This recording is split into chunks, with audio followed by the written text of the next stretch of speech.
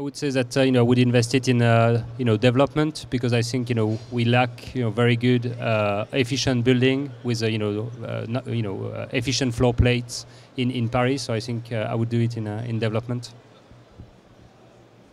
I'd probably mix and take some development in good locations. Could be in Paris, could be in another location where where tenants like to go and where you have very low vacancy rates. Could be, for example, in uh, Paris Rive Gauche, which is a it's a very attractive area, or uh, Batignolles, which is a very attractive area. So there, there are new areas which are not probably the CBD um, have to, have to be, which where you could um, develop properties. Um, I then would certainly try to do something on the in the hotel sector because, um, as we know, Paris is a city where we have more and more tourists coming in, and now we have a lot of very high upscale uh, hotels, but probably there is still some some need on on uh, let's say three four star hotels. And um, I would do some retail, probably in the regions, high street retail um, in the classical, what we call the German buildings. You know, we have the, the retail on the ground floor, some uh, office floors, and then one or two residential floors on top in very good locations. And with 500 million, which gives me, when I go to see AXA for the financing, it's going to give me 1.2 billion probably right now.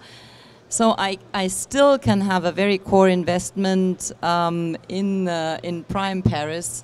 Um, and even if that yields at 4%, I don't think I'll lose a lot of money because my uh, money on the bank will bring me about 1.3% or 1.4.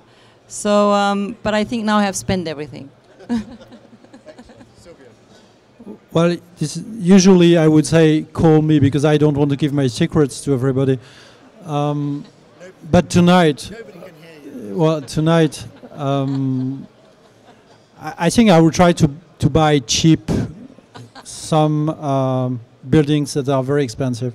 So the way to do that is, is doing developments and, and, and calling our friend Philippe here and uh, and buying one of his buildings.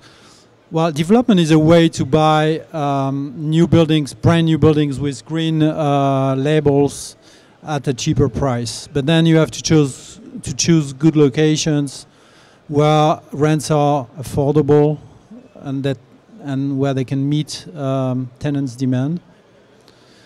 Uh, good locations. There are, there are here and there are some uh, opportunities in Paris CBD where you can buy uh, old uh, buildings, very good locations. You you renovate them, and uh, and it's a way to to buy uh, with a rather higher yield to cost than the the current market cap. So those are the plays we, we would like uh, to offer to our clients, and uh, and I I I have cards with me, so. Thank you much for your contributions and for attending. Thank you.